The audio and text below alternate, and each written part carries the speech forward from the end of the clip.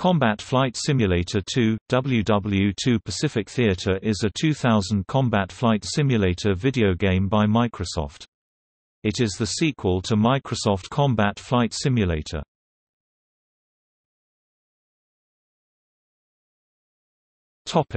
Gameplay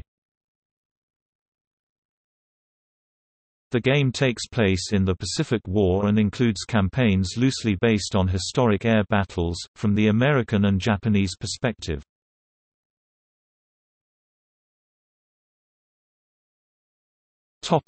Reception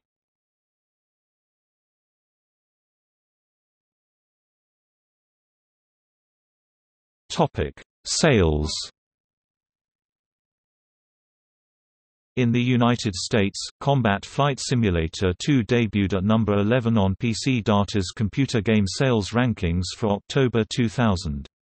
It remained in the monthly top 20 through the end of the year. In 2001, Combat Flight Simulator 2 achieved domestic sales of 285,728 units for revenues of $13.1 million, according to PC Data.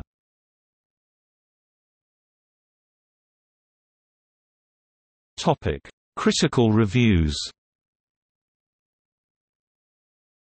The editors of Computer Gaming World nominated Combat Flight Simulator 2 as the best simulation game of 2000, although it lost to Comanche vs. Hokum.